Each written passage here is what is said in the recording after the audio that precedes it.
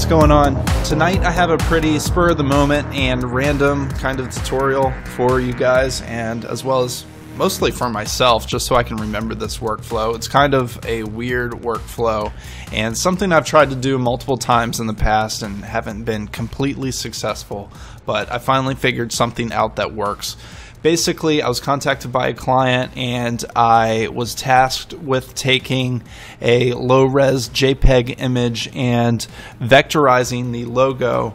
Um, so that it could be screen printed on T-shirts, um, any type of screen print. Um, you want to have a vectorized file, and all that means is just a line that is infinite. You can zoom in rather than um, made up just of pixels. So I took the logo, brought it in here into 3ds Max. I know this is not an ideal workflow for most artists, but it works for me. I love the line tools inside of 3ds Max, so I just and I use 3ds Max every day, so I just went ahead and did it in here. Um, but for this tutorial, um, most of it's going to be taking place in, uh, I'm sorry, uh, Illustrator. So um, once I have my logo drawn out, this is all one editable spline. Um, a quick note, um, I have scaled down the logo spline to fit within the uh, one-to-one -one grid here. I'm sorry, the negative one to one and so on grid here. Um, anything that is scaled outside of this one-to-one -one grid is from my understanding a little bit too big for Illustrator to uh, really work with. So um, I have placed everything within here and it works great for me. So uh, what I want to do now is go up to File, Export, and I've already saved out the file here, but basically I just want to come down to Save File Type As, and we want to save it as an Adobe Illustrator file um, I can just overwrite that and we're good to go here. Now, if I open up Illustrator, I want to go to File, Open, navigate to that, and zoom out, and you can see I've got my outline here. Now, if I open the layer, um, every the line was basically split apart in the Illustrator export. Um, for whatever reason, um, I am by far um, and from an Illustrator expert. But anyways, um, basically, Illustrator at this point in time doesn't understand what needs to be, what line needs to be cut out of what. So uh, basically, we need to set up this file so that Illustrator understands that.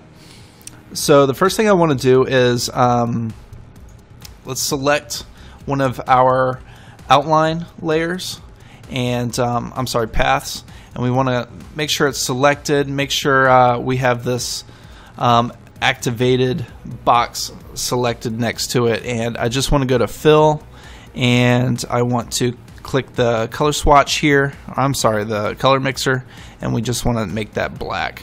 I'm just going to make a black and white outlined logo, um, basically like a stencil for this.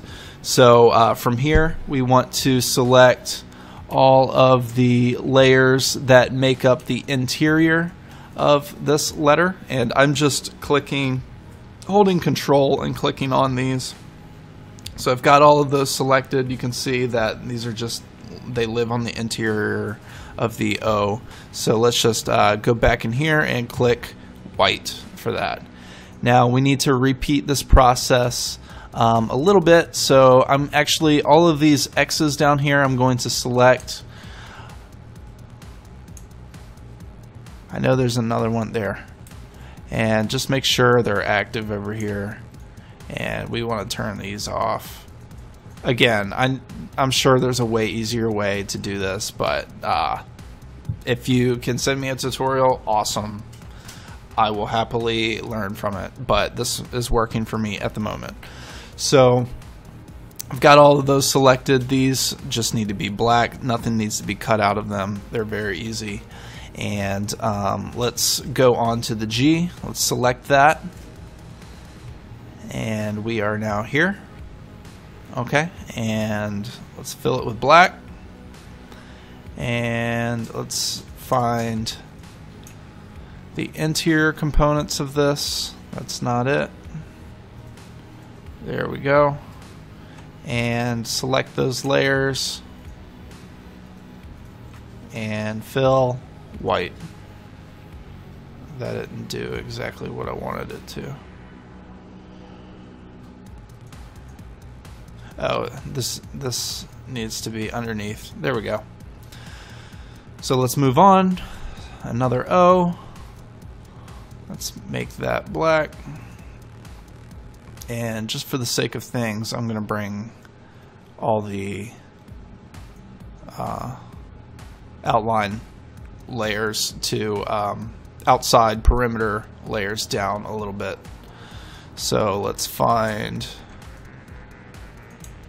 the interior, select both of those, and we just want to make it white again.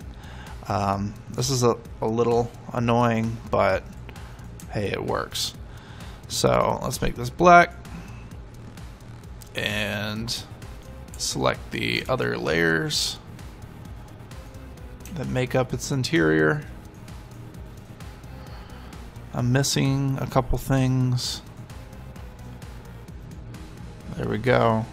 I think that's all of them. So let's go down to fill, white. And the reason they're not all showing up is because this needs to be drug a little lower. Okay, great. So we've now have the correct fill color on all of these. However, they're still all separate layers. So what I want to do now is um, let's select the let's go with the O first. So the first one, um, we want to select the outline, the black layer, and then we want to select all of its um, associated cutouts. Let's just activate all of this. And we want to go to Object, Compound Path, Make. So now that is going to combine everything into um, one beautiful stencil. So let's do that again. Um, I don't know if I can, I might be able to select all of these and just do the same thing, object, compound path, make. That didn't exactly do what I wanted, so let's, uh, I will use my original workflow. I'm to bring all these X's together and select them and um,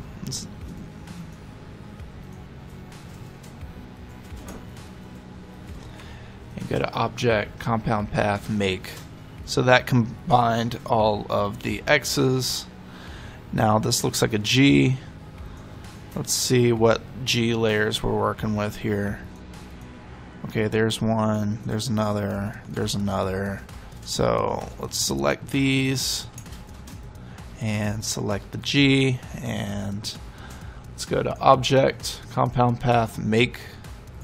Now we've got the G. Let's see, um, let's do the next O. This one should be relatively easy.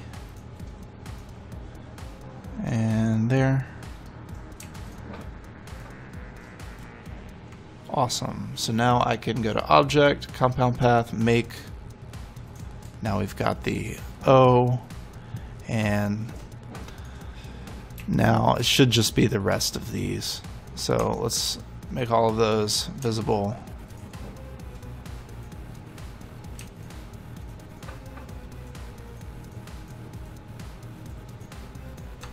Alright, and object, compound path, make.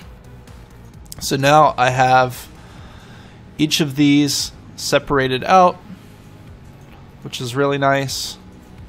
And one last time, I can select all of these objects. Gotta make them visible first, or whatever this is. Indicate selected art. Object, compound path, make and everything now is one beautiful spline. So, and you can zoom in here as far as you want, and it's infinitely sharp. So, from here, um, I was actually asked by the client to export a PDF. So I can just go to File, Save As, and we want to select Adobe PDF. I've already put it right here, but I can do it again. Why not? and um, I'm just using the default preset, and everything else is good to go. So view PDF after saving. I don't have a specific application set up for PDF, but uh, here we go. This is what we got. And I think she's going to be very happy with this.